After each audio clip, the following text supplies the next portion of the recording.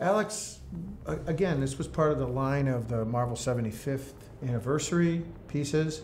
And uh, we talked a little bit about, Alex talked a little bit about wanting to do uh, the original, the Wally Wood uh, costume, the, the yellow.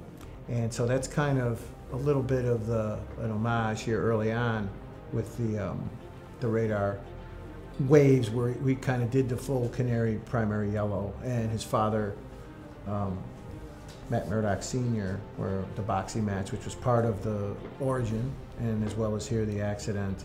But he, he was he felt it's important because he re, Alex really um, had a strong vibe for the classic Daredevil costume. He always that was that was always one of his favorite Marvel uh, costumes, and he felt it was kind of an overlooked uh, classic um, real, real super iconic way. And he just always loved, Alex always loved the way that you, when you use the red, the, um, the primary red costume, you could cheat a lot. The last I talked to him about it one time, and he said you can cheat a lot with getting the viewer to move his eye through the piece when you when you render this this costume with the red because of blacks. You can kind of spot your blacks as as not so much reflective off the red outfit, but just that's kind of the nature of the outfit. So Alex just found something really grabbing when he put it together compositionally to be able to have the red contrast to black.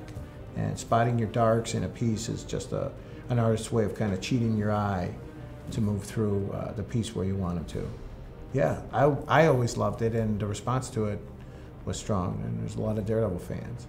And this was before the, the TV show.